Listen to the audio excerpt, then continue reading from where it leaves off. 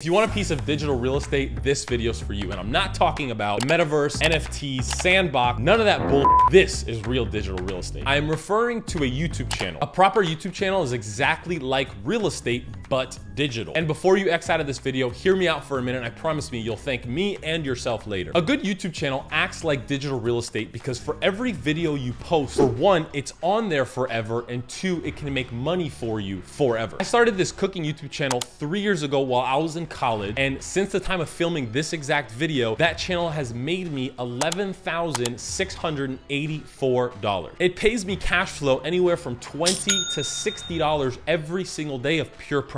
And the best part is I have not made a video for this channel in months. Each video you post, if posted correctly, can act like a piece of property or digital real estate. Now check this out. You see this steak video that I made here? This was created with an iPhone 6 and a $7 tripod. It's gotten 1.8 million views and it's made me $10,263 for a simple iPhone video that I was making dinner one day and I said, hey, let me film this and put it on YouTube. Now, the reason this video does so great and it makes money every day is because it's an evergreen video. It's a search-based video. So as long as people continue to search how to make a steak, this video will continuously pop up and make money forever. So in essence, while that video took me probably about three hours to film and edit and post, three years ago, it produces views and cash flow every single day. Trust me, you'll thank yourself one, two, five years from now. Trust me. The channel that you're currently watching the video on, my personal channel, has 1,300 subscribers. And I guarantee you a year from now, it's gonna have much more subscribers and it's going to be making a lot more money than it is today. That is the power of YouTube. It's a snowball effect. Pick a niche or a topic you like and start making videos. If you have a business, if you're a realtor, if you're a contractor,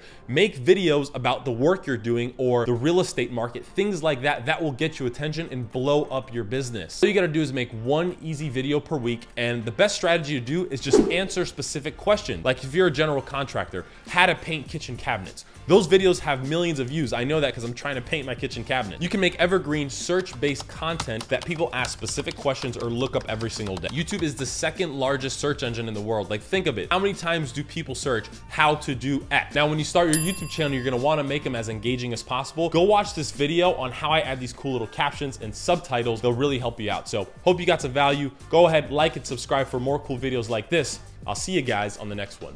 Peace. Love you.